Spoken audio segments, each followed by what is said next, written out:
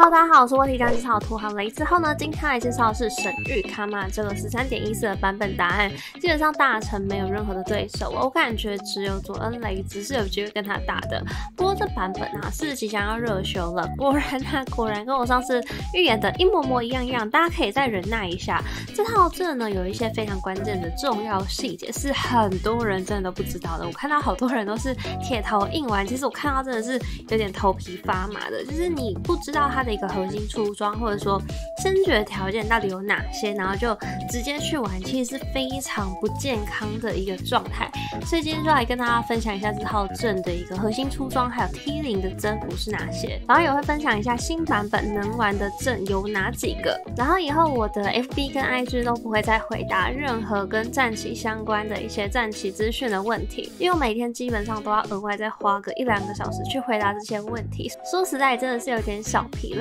但是我有创立战旗的 FB 社团，也有赖群，甚至还有图文攻略啊，并且很快的在更新影片。所以如果你真的有问题的话，可以多使用以上我提到的这一些资源。然后也要记得，千万不要问我，就是我影片里面已经有讲过的东西。例如说，下面如果在留言什么，哎，神域卡玛怎么玩，要出什么装，那我可能就会叫你来我家贵族机版哦。那如果你看完影片，或是看了很多人的实况，还是觉得就是一直卡在某一个排位，欢迎你直接来报。报名大师圆梦计划，我们目前刚办没几天的就已经有三位学员呢爬上大师，还有不计其数的人已经登上了钻石的行列。只要呢你是大师以下玩家呢，就能享有特殊的优惠，两场可以现折四百，五场话则是可以现折一千一，并且可以加入战旗 VIP 群，提前看到战旗的攻略，不但可以认识更多的高端玩家，也有台服前几名最强的精英为你解答战旗的疑惑，还能抽五千点的买卡点数。活动只有到月底，近期把握。预算有限，没关系，钱包。应该是按个订阅对我来说都是莫大的鼓励，感谢你们。好，回到主题，我真正的组成有塔利克、圣卡玛、冰女雷兹、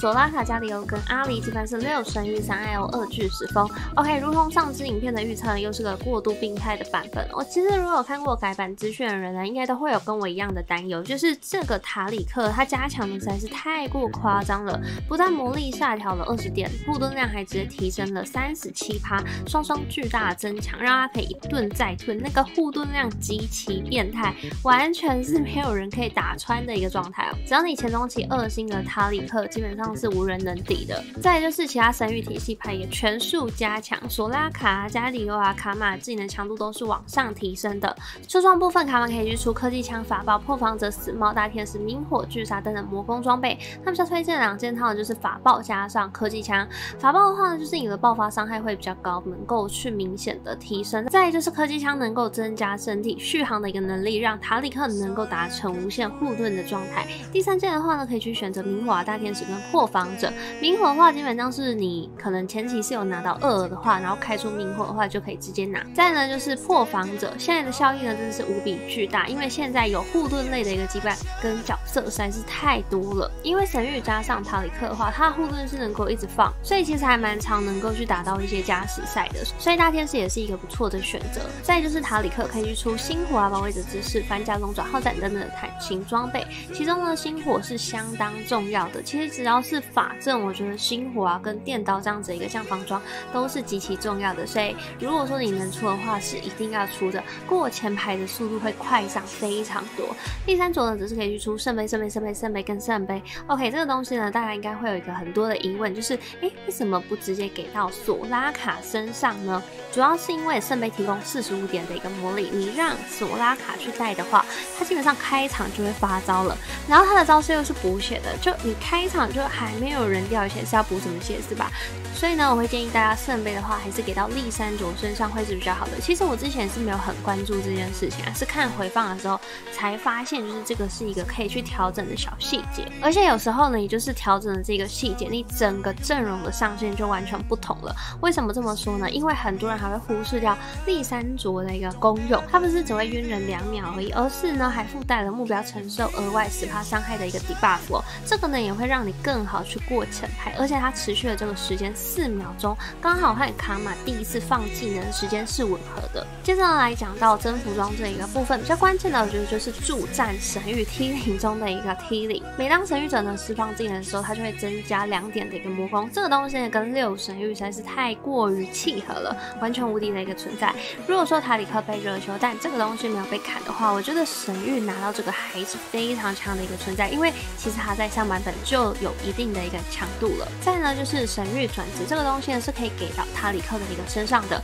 更好呢能够让你在七等的时候就基本成型，开出一个艾欧的羁绊。再是战斗法师释放技能后呢可以获得护盾，神域刚好就是会一直放招嘛，所以跟这个征服呢是相当契合的。然后像说免费招待券啊，或者说炼狱之气啊，以及快刷快闪也都是不错的一个选择。甚至啊，这些经济类的一个增幅装置，就是你卷赢同行的一个关键。再来其他的一个征服的话，也可以去选择像是三人行啊、三人成型，还有新角兽的祝福、知己知彼、珠光莲花以及以及潘多拉的备战曲。三人行这个东西呢，它会给予四个随机的一个三费英雄。我有看过有人是直接二之一就二星卡码的，看到是差点吐血。所以这个东西如果说你抽到还不错的话呢，我觉得都是很棒的。因为现在其实有很多的三费阵容也都是能玩。这是三人成型这个东西呢比较少人选，但是我觉得神。还算蛮适合的，就是这个阵的三费卡挺多的，可以让你的卡玛坦度更高，然后呢不会太怕刺客，还有神射手，甚至有的时候你去上两只的卡玛，或者说两只的塔里克，其实也都是一个还蛮不错的选择。使用的方式呢就有点类似于头好壮壮，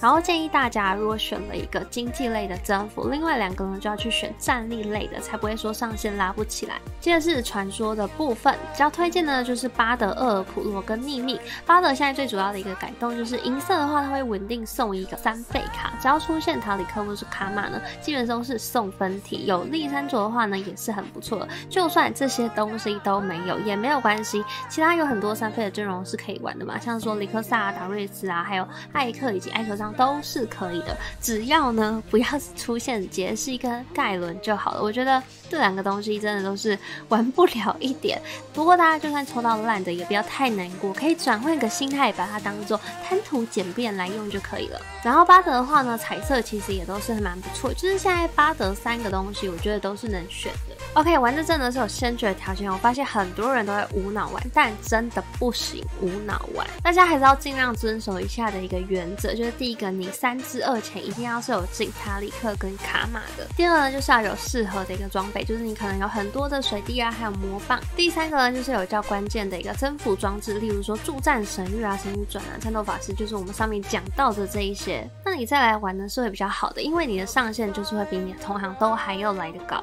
阵容过渡部分，前期连败或保险连胜皆可，但是还是比较推荐文险连胜的一个方式哦，因为现在游戏节奏是非常快的，容错就变成至关重要的一件事情。推荐三之二的时候可以去升上六等，这个时候呢，你就可以大刷牌组出一个基本的阵型，可以先用卡玛、塔里克、加里欧、蛇女、索拉卡，然后再搭配一个任意的堡垒牌，像说波比。或者说冒牌都是可以的。接着三十五或者说四级的时候去升上七等，七等的话呢就可以组出我们一个完整的阵型而。其实大多的时间呢会卡在七等非常的久。在这边最关键的事情也就是刷到圣这一张牌，你的阵容强度呢就会有非常明显的一个提升。在七等的时候呢，我们还去追出三星的一个卡玛塔里克还有利山卓。但是如果说你今天有同行，或者说进的张数实在是太少了，这个时候呢，你就可以去直冲八等，补上赛特或者说阿里抽艾欧的羁绊。OK，这场的话呢，卡玛其实是三星的非常晚，就是在五之五的时候才达到三星的状况，就是在刚刚而已。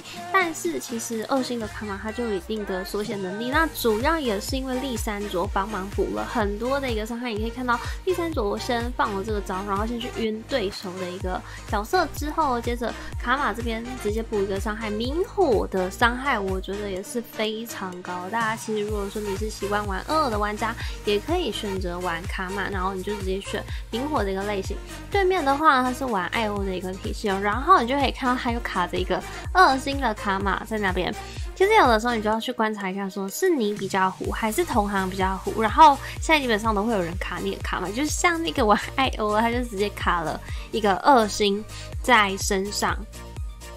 然后我跟大家说一下，就是摆位的部分真的是挺重要的一件事情。就今天的话呢，你尽量不要有让对手太多去叠这个泰坦的一个空间。只要他的泰坦叠不起来，你基本上都是轻松虐杀的一个状态。所以你最好，哎，有的时候要么就是直接打他脸上，就是你觉得你自己伤害够的话，像这里其实我是想要直接去打那个达瑞斯的一个部分，但是被他躲过。不过这边卡特会直接。秒掉我们吗？没有，卡特没有秒掉我们，竟然是我们秒掉了卡特，你就知道他卡玛这个伤害真的是非常非常的恶心，而且他神域的话就是一直狂叠。作战神域，你就是伤害无上限的一个状态哦。你叠的速度不但非常的快，然后呢，你科技枪又可以补得回来。OK，然后大家可以观察到一件事情，就是星火也是一件很重要的装。哦，这一场的话呢，是我带我第一次爬分的一个状况，因为他跟我求救说他不太会玩这个阵容，他玩这个阵一直输，然后我就发现他的摆位呢，真的是一个。还蛮大的问题，就是大家塔里克旁边左边、右边是都可以去摆人，因为他就是会去保护他的一个友军嘛。但有的时候，如果对手有一些控场的话，其实你也不用就是全部的人都摆在一起啊，因为你可以看到，就是其实其他的角色他们还是会往就是塔里克的一个方向靠，所以你其实有的时候不太需要说完全摆在一起的。OK，我们可以看到这里的话，就是完全碾压大东的一个状况。但我给跟大家说一件事情，就是神射手其实是比较。好打卡嘛？我目前观察下，我觉得雷克萨跟这个神射手是有机会打赢卡玛的。但是如果今天卡玛有科技枪，而且他有巨杀这样子的装备的话，他其实还是能赢的。就是比较看说到底是谁比较虎的一个状态。然后再就是大家也很容易忽略的三之二，最好要去刷牌，然后让你的所有的牌面的质量呢有所提升，不要一昧的想说哦，我一定要到四之一的时候才去启动刷牌，这时候都有点为时已晚了。OK，我们再来看一下，就是五之五这边其实遇到一个妖魔鬼怪，就是对面的话呢，他是已经大成的九五体系，就是他基本上所有的五费卡都是已经来到二星的状态，但是他的厄萨斯是直接被秒杀，然后他的轰元也是完美的成长，尤其是现在阿里要很强，所以你可以看到这一场呢没有去拿到阿里，就是对面的阿里已经来到二星，其实这边打的是非常可怕的一个状态，但是没办法，塔里克的盾实在是。太厚了，有没有看到他是一直疯狂护盾哎？这个护盾完全做坏，就这个塔里克真的是太弹了。然后卡玛直接打了一个两万输出，我直接吓傻。有的时候呢，你甚至会觉得啊，这个塔里克好像盾比血都还要厚了。最后跟大家推荐一下，就是现在版本我觉得还蛮不错的一些阵容，就是像艾可上啊，然后卡玛，卡玛的话就是还没有热修啊，因为基本上我觉得他是一定会热修，所以对这个东西的话，大家可以再去观察一下，说他热修一个状况。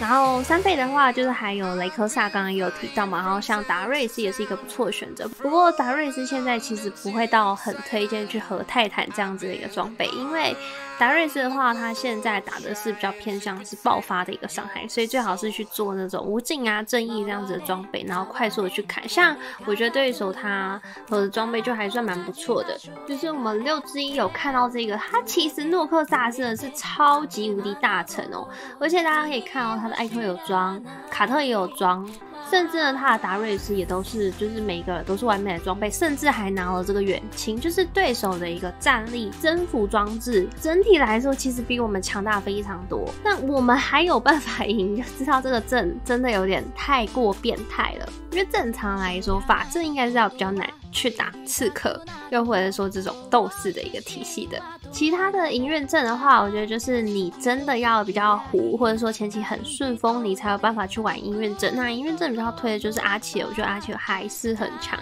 不管是高速瑞嘛，或者说战略的一个体系都可以。再来就是大东，大东的话就是去走巨石风，然后神社一个体系，弗雷神社，然后杰利也还可以，但是呢前面就是一定要去开这个皮尔托夫。接着呢像是其他。塔利亚，或者说赛特，虚空行走的一个塔萨丁，以及嗜血猎人，我觉得也都还不错。但是呢，他们就是比较刚需一些特定的征服装置。最后讲一下这个传说这个巴德，我觉得现在三费卡的体系真的都有点太强了，所以现在巴德的话绝对是很好的一个选择。那就看之后设计师怎么去做调整，除非三倍卡都很烂了，那八折才有可能说，哎，被弱化哦。最后最后还要跟大家 分享一下 bug 的部分，就是爱刷呢这个东西是有 bug，千万不要选。当你触发那个要一块刷牌的机制的时候，你本来呢是只需要花一块钱，然后就能够刷牌了嘛。但是现在的话，它就是变成说，哎，你触发了这个效果之后，只能拥有一次一块钱的机会，后面呢就都还是原价。所以这个东西先别选。然后再就是快刷快想，这个东西现在就是即使是开始战斗的一个回合，它都还能够继续触发快刷快想，所以有点太过变态了。然后其实 bug 还有蛮多的啊，大家也可以在留言区多多分享，就是你们现在遇到一些 bug 啊，或者说觉得有点太 OP 的一些状况啊，都是可以的。那今天影片到这里喽，感谢大家耐心收看，今天做的比较赶一点点，所以就是都用 CC 字幕，还请大家见谅。然后明天星期六的话呢，晚上六点呢有冠军之路的决赛，是由我和瑞克斯播报；星期日的总决赛则是由瑞克斯和绿茶播报，大家都记得锁定一下。那就下次见啦，拜拜。